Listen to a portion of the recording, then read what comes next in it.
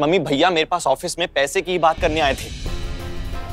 बोल रहे थे कि इन्हें पैसे की ज़रूरत है और ऐसे में वो ज्वेलरी बॉक्स का गुम हो जाना भैया का वहाँ पे नहीं रहना और ये वीडियो मैं क्या करूँ? मैं बस इतना कह रहा हूँ कि अगर गलती से भैया के पास आ गया हो तो बता दीजिए। वैभव मेरे पास नहीं है। मैंने नहीं लिया है वो बॉक्स मैं टिफ़िन बॉक्स लेकर गया था तू बता सच क्या? क्योंकि वैभव जो कह रहा है उसे तो यही लग रहा है कि मैं चोर हूँ। पापा आप। भी बस। पूरी होगी तेरी चाहत। पापा हमेशा से सिर्फ़ तेरी तरफदारी करते मुझे तो हमेशा नाकारा समझते हैं। और पापा ने आज मुझे चोर भी समझ लिया। सिर्फ़ तेरी वजह से। खुश हो गया तू? मिल गई तुझे तसल्ली? भैया, मैं आप पे इल्ज़ाम नहीं लगा रहा हूँ। मैं आपसे पूछ रहा हूँ और जो दिख रहा है वही कह रहा हूँ। और क्या करे कोई? इतने सालों से जो आपने झोल झपाटा किया है, उसके बेसिस में आप भरोसा करूँ? आप क्या कहते हैं? मैं मैं पैसे के लिए कुछ भी करूँगा। आप ही नहीं बोला था ना, मैं बैंक लूट लूँगा। ऐसे में भरोसा करूँ आप पे? वैभव, मैं सुधर गया हूँ, मैंने बोला था। बदल गया हूँ मैं। सबको समझा समझा के थक चुका हूँ कि मैं वो सब कुछ छोड़ चुका हूँ। अच्छा आदमी बनने की कोशिश कर रहा हूँ, पर नहीं। लेबल चिपका दिया मेरे सर। बाहर वाले मुझे जो कुछ भी समझते थे मुझे कोई फ़र्क नहीं पड़ता था। पर आज आज घर वाले मुझे चोर समझे। मम्मी आप भी तो कुछ बोलो। मम्मी आपको भी लगता है कि चोरी मैंने की है? वैभव सच बोल रहा है और मैं झूठ बोल रहा हूँ? नहीं रोहित ऐसा नहीं है। नहीं ऐसा ही है सविता। वीडियो में तो साफ़ साफ़ दिख रहा है कि बॉक्स ही उठा के लेकर गया अब तो घर वाले भी सोच रहे हैं कि रोहित ने ही चुराया है। अरे तुम लोग आपस में लड़ते रहो और मैं ये सारा माल बेच के हो जाऊँगी कविता तेरी लाइफ तो सेट है। भैया भैया यार कहीं और कर लेते चोरी करनी थी तो। श्रेया के पापा की दुकान में जहाँ मैं काम करता हूँ? अरे मेरी एक इज़्ज़त है। उन्होंने बहुत भरोसे से ये रिस्पॉन्सिबिलिटी मुझे दी थी। आप ना मुझे सच सच बता दीजिए कहाँ है वो? ये सब भूल जाएँगे। ये सब भूल जाएँगे। कोई बात हुई थी मैं भूल जाऊँ। बस वो ज्वेलरी बॉक्स दे दीजिए। वैभव कहाँ से लाऊं? मैंने कोई ज्वेलरी बॉक्स नहीं चुराया। वैभव अगर रोहित कह रहा है कि उसने नहीं चुराया तो उसने नहीं चुराया होगा। ये रोहित है रोहित भूल गई। इसने पैसों के लिए तुम्हारी भक्ति तक को बेच दिया था टीवी चैनल पर। जो लड़का अपनी माँ तक को बेवकूफ़ बना सकता है वो पैसों के लिए कुछ भी कर सकता है। चोरी भी। नहीं पापा। रोहित भैया ने पहले जो भी किया हो लेकिन उसका मतलब ये नहीं है ना कि वो हमेशा गलत है। इंसान सुधर भी तो सकता है। श्रेया बस यार। यहाँ पे मेरी इमेज भी इन्वॉल्व तुम्हारे पापा ने बहुत भरोसे के साथ मुझे रिस्पॉन्सिबिलिटी सौंपी थी। और यहाँ पे भैया? वैभव पर लो। देख लिया ना तुमने रोहित। और मांगो वैभव से हेल्प बोला था ना मैंने मेरे पापा से पैसे ले लेते लेकिन नहीं तुम्हें तो अपनी फैमिली से ही हेल्प लेनी थी ना। देख लो अपनी फैमिली को। तुम्हारा भाई क्या सोचता है तुम्हारे बारे में? चोर समझता है तुम्हें। ये है तुम्हारी फैमिली अरे माया जी ऐसी बात नहीं है। मसला हो गया है तो बात हो रही है। अपनी फैमिली तो बहुत कोऑपरेटिव है ना। सब एक दूसरे की मदद करते हैं। हाँ हाँ। आपको तो अच्छी लगेगी ना। इतने सालों से आप पे मेहरबान जो है ये फैमिली आप तो घर जमाई बन के सालों से ससुराल में मज़े ही कर रहे हैं ना। बस एक रोहित ही है जो अपने ससुर से हेल्प नहीं ले सकता। बाकी सबको जायज़ है है ना? भाभी प्लीज़ अपने पति की गलती छिपाने के लिए आप मेरे पति पे इल्ज़ाम क्यों लगा रही है? इस घर में ना मेरा भी हक है जितना वैभव और रोहित भैया का है। अरे क्या हक? जब देखो हक की बात करती है यहाँ पर क्या करोड़ों की जायदाद है कि तुझे भी अपना हिस्सा चाहिए? हमारे लिए कुछ नहीं इस घर में। अरे बात को कहाँ से कहाँ लेके जा रहे हो? हाँ मम्मी आप ना बस अपने बेटों की ही सुनना। मुझे इस घर में कोई भी कुछ बोल दे किसी को फ़र्क ही नहीं पड़ता। यार दीदी आप क्या बोल रही है? क्या बात चल रही है और अब क्या बोल रही हैं?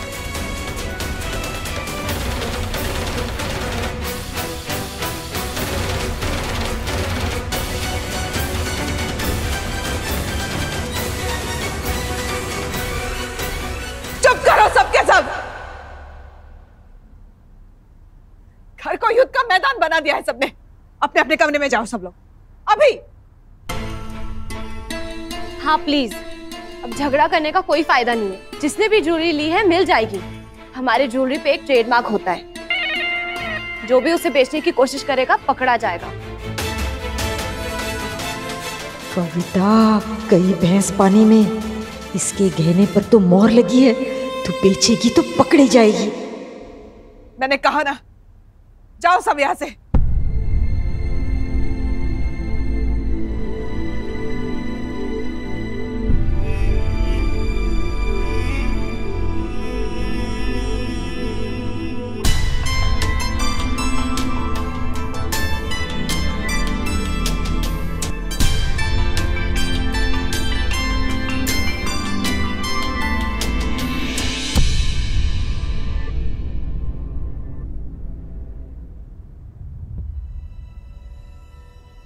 पापा किसको फ़ोन कर रहे हो? तुम्हारे पापा को। पर उनका फ़ोन बंद है। पापा को? क्यों? बात तो करनी होगी ना श्रेया। इतना बड़ा नुकसान हुआ है उनका। कितने विश्वास के साथ उन्होंने मेरे कहने पर वैभव को नौकरी पर रखा था और पापा इसमें आपकी क्या गलती है? नहीं बेटा। अगर बच्चे गलती करे तो ज़िम्मेदारी भी माँ बाप की होती है। और आज तो दोनों तरफ़ मेरी ही हार है। अगर रोहित ने चोरी की तब भी मैं हारा हूँ और अगर वैभव ने लापरवाही की तो भी सर मेरा ही झुकेगा। नहीं पापा ऐसा मत कहिए। कोई ना कोई हल ज़रूर निकलेगा। क्या हल निकलेगा श्रेया? हाँ? कोई छोटी मोटी बात थोड़ी है। एक करोड़ की चोरी हुई है समधी जी की। वो भी मेरे बेटों की वजह से। पाप हो उनका। तो भरपाई भी तो मुझे ही करनी होगी ना। मैं बात करूँगी ना पापा से। घर की बात है वो ज़रूर समझेंगे। वही तो बात है ना श्रेया। तुम बात करोगी तो शायद रिश्तों की वजह से और संकोच में आके वो कुछ ना कहें। आज तक इस घर में मेरे बच्चों के सामने मेरी कोई इज़्ज़त थी ही नहीं। आज के बाद पता नहीं तुम्हारे पापा भी मेरे बारे में क्या सोचेंगे?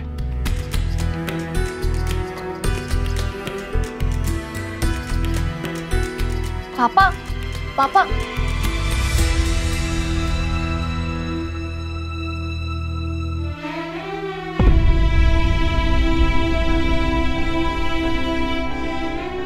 माँ। माँ। लक्ष्मी माँ। माँ। बोलो सविता।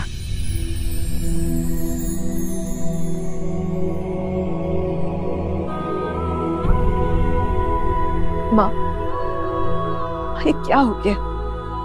किसकी नज़र लग गई है फिर से? मैं कितनी खुश थी। मेरे घर में साक्षात लक्ष्मी माँ जन्म लेने वाली है। मैं दादी बनने वाली हूँ। और अचानक मेरी खुशियों को ऐसा क्या ग्रहण लग गया है? हो रहा है माँ। संबंधों में कड़वाहट कभी भी एक दिन में नहीं आती सविता इसकी जड़ें तो अतीत से जुड़ी होती हैं, जिस पर हमारा कभी ध्यान ही नहीं जाता। ये ईर्ष्या और द्वेष का ऐसा बीज है, जो एक दिन विशाल कांटेदार वृक्ष का रूप ले लेता है, जो धीरे धीरे समस्त परिवार को छुपते हैं। कौरवों के हृदय में पांडवों के लिए घृणा भी कई वर्षों की ईर्ष्या और द्वेष का ही परिणाम थी सविता ये आप क्या कह रही है माँ? मेरे घर में महाभारत। आपके होते हुए ऐसा कैसे हो सकता है? महाभारत को तो स्वयं विष्णु जी भी नहीं रोक पाए थे, सविता। ये केवल युद्ध कथा नहीं है। इसमें जीवन का सार छुपा है। और यदि तुम चाहो तो इसमें से महत्वपूर्ण पाठ सीख सकती हो। यदि समय रहते विवादों को ना सुलझाया जाए तो वह निकट भविष्य में संकट बनकर महाविनाश का रूप ले लेता है।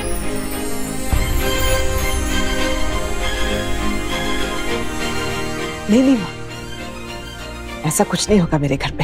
दोनों भाई छोटी सी बात को लेकर लड़ रहे हैं। थोड़ी देर में बात करने लगेंगे। महाभारत जैसा कुछ भी नहीं है मेरे घर में। मेरे बच्चे हमेशा साथ में रहेंगे, हमेशा खुश रहेंगे। मोह। मोह ही तो था गांधारी को, जिसने उसे कुछ देखने ही नहीं दिया। और तुम्हारा भी मुँह तुम्हें कुछ नहीं देखने देता, सविता। मैं आशा करती हूँ कि तुम इस बात को शीघ्र ही समझ पाओ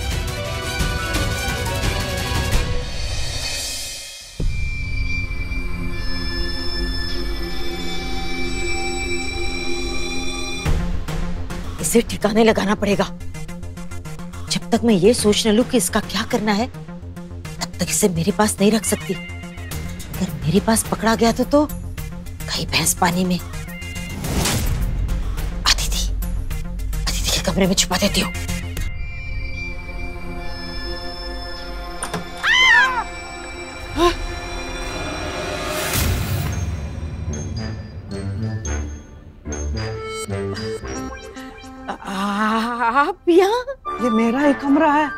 मैं तो यही रहूँगा ना। आप यहाँ? अब वो ये कैसे हैं आप? एकदम चकाचक। बड़ी सासू माँ? आप कुछ ठीक नहीं लग रही हैं। अब कुछ छुपा रही हैं क्या? परेशान लग रही हैं आप।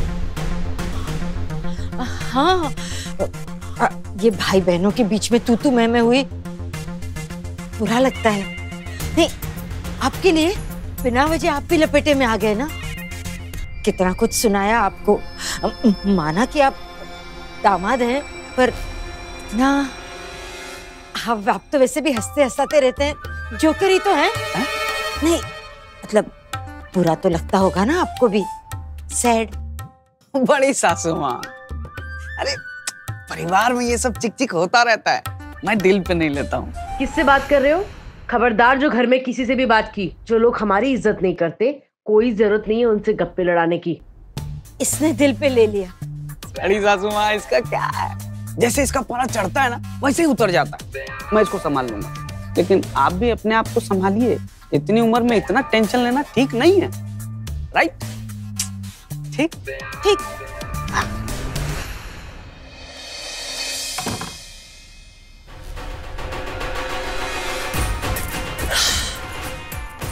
बाल बाल बच गई कविता।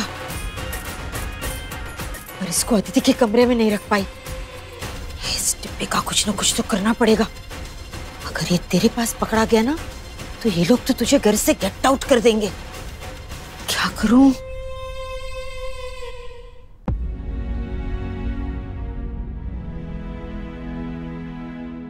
इतने सालों से जो आपने झोल झपाटा किया है, उसके बेसिस में आप भरोसा करूँ? भैया यार कहीं और कर लेते चोरी करनी थी तो।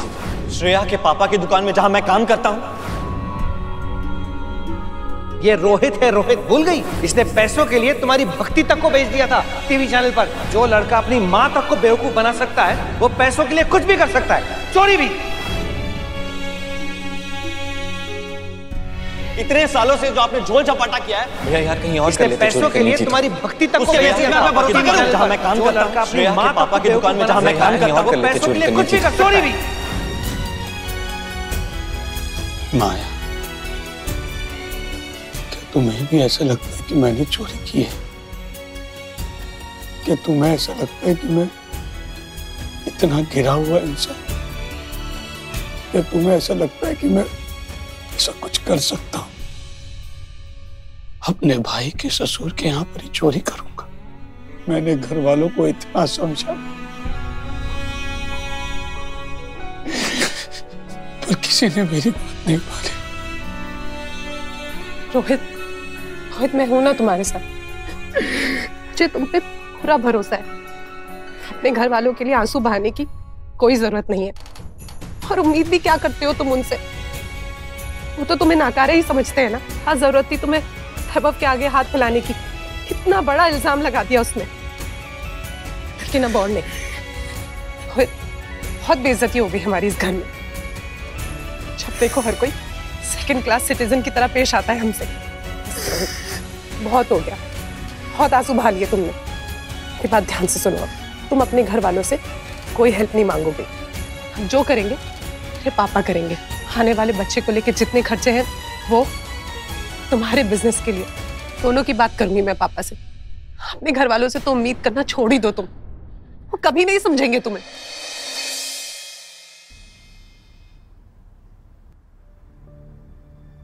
वैभव, हम रोहित भैया की फैमिली है ना? हमें तो उन्हें समझना चाहिए। पता नहीं भैया क्या सोचते होंगे। इस तरह तुम्हें उन पे इतना बड़ा इल्ज़ाम नहीं लगाना चाहिए था। तुम्हारे बड़े भाई है। जरा सा तो उनकी फीलिंग्स के बारे में सोचते। या राइट फीलिंग्स शायद तुम फीलिंग्स के बारे में बात मत करो। तुम इस सब की परवाह है सिवाय मेरे। क्या किया मैंने? मैंने तुम्हारी फीलिंग्स हर्ट की या तुमने मेरी? दो दिन से बात भी नहीं कर रहे हो मुझसे। जब से प्रेगनेंसी के बारे में पता चला है, मैं तुमसे बात करने की कोशिश कर रही हूँ, लगातार तुम्हें कॉल कर रही हूँ। और तुम तो मुझसे कितने रूडली बात कर रहे हो। कभी सोचा है मेरी फीलिंग्स के बारे में?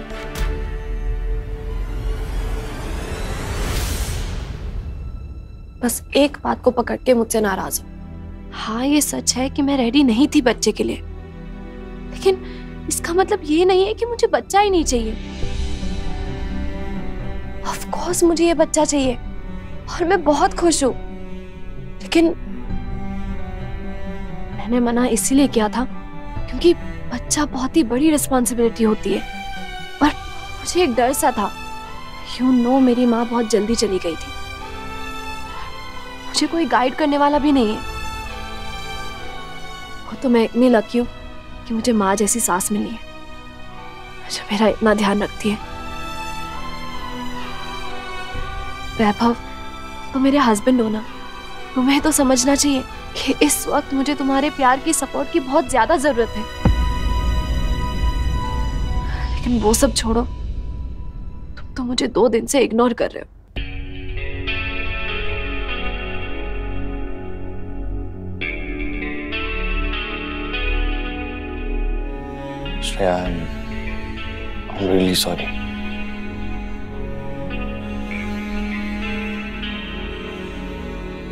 मैं सच में ना इडियट हूँ। ना तुम्हारी बात सुनी और ना ही तुम्हारी फीलिंग समझ पाया। और देखो ना बच्चे की आने की खुशी में शामिल भी नहीं हो पाया। जूनियर तोशनीवाल पापा ने ना मम्मी को हर्ट किया। इडियट है पापा। हाँ वो तो है। और तुमने रोहित भैया को भी बहुत हर्ट किया है। वैभव, तुम्हें जाके उनसे माफ़ी मांगनी चाहिए। हाँ हाँ शायद ज़्यादा ही ओवर रिएक्ट कर दिया मैंने। मैं कल सुबह उठते ही उनसे माफ़ी मांगूँगा। पक्का। अब तो नाराज़ नहीं हो ना? I am really sorry Shreya. अब ना तुम्हें कभी हर्ट नहीं करूँगा। कभी नहीं।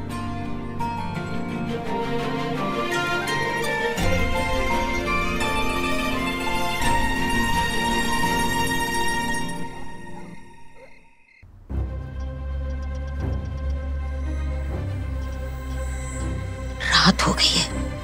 यही सही वक्त है। इस डिब्बे को किसी के कमरे में छुपाने का। बंद है। सविता, वक्त सविता के कमरे में रख देती हूँ। सही रहेगा।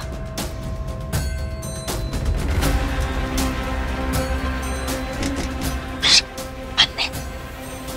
तो सारे दरवाजे तो ऐसे बंद करके सोते हैं। जैसे रिज़र्व बैंक का खजाना रखा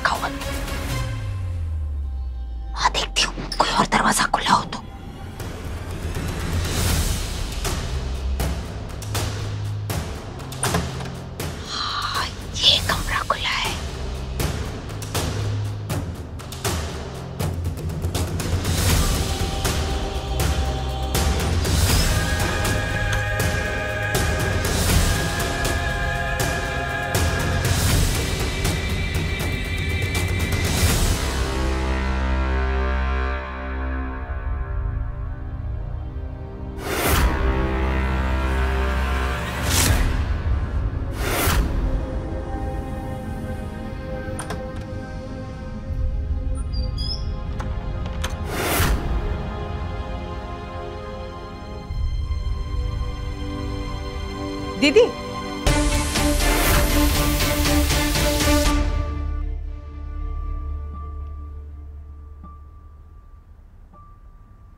आप ऊपर क्या कर रही थी? ऊपर? हाँ वो ऊपर कुछ आवाज़ आई थी। तू तो जानती आजकल चोर उचक्के कितने घूम रहे हैं। तो देखने चली गई। पर कोई टेंशन वाली बात नहीं है। सब ठीक है ऊपर। पर तू इतनी रात गई यहाँ क्या कर रही है? सोई नहीं अभी तक? अपने बच्चों को ऐसा लड़ता देख। आपको लगता है मुझे नींद आएगी? जब तीनों लड़ते थे ना बचपन में तो मैं इनके मनपसंद की चीज़ें बनाती थी। सारा गुस्सा ठंडा हो जाता था। तो सोचा आज भी वही तरीका अपनाऊं। इनकी पसंद की चीज़ें बनाऊँगी। चाहे कुछ भी हो जाए दीदी। मैं घर में महाभारत नहीं होने दूँगी। अपने बच्चों का झगड़ा सुलझा के रहूँगी मैं। शानी सविता। कोई भी पैतरे अपना ले सविता। तेरे घर की महाभारत तो रुकने वाली नहीं है। अभी जो मैंने किया है, उसके बाद तो ये घर टूट के ही रहेगा।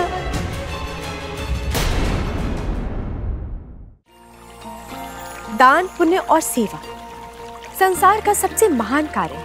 स्वयं भगवान भी यही चाहते हैं कि मनुष्य उन्हें प्रसन्न करने के स्थान पर उनके द्वारा बनाए गए प्राणियों की प्रसन्नता का कारण बने। किंतु ऐसे पवित्र कार्य के पीछे की मंशा।